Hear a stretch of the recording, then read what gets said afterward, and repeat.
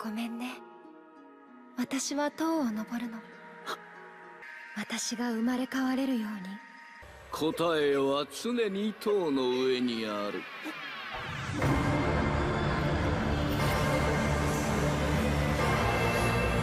私はヘドン。この塔の管理人塔を登るテスト。お受けになりますか？テストって？坊ちゃまが檻の中に入り白い蝶うなぎを回避しあのボールを割れば合格です。引き返すならば今です。なぜこんな不利なテストを？鋼の鱗で覆われたあの蝶うなぎは20回レベルのものでも手こずる怪物よ。そこまで彼を塔に登らせたいならばユリ様？黒の3月を貸して差し上げたらいかがです？貸してあげる。あんた可愛い顔してるから。そんなすごいもの。あんた塔に登りたいんじゃないの？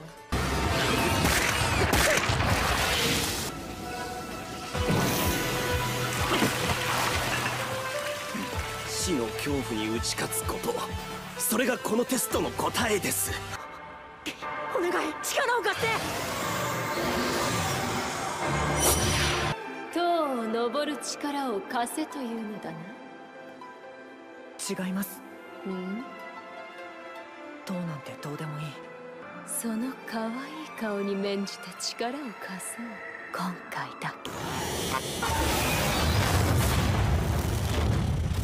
け再び出会った彼女はあなたの知らない時間を生きた彼女なのだから。この先の道は険しい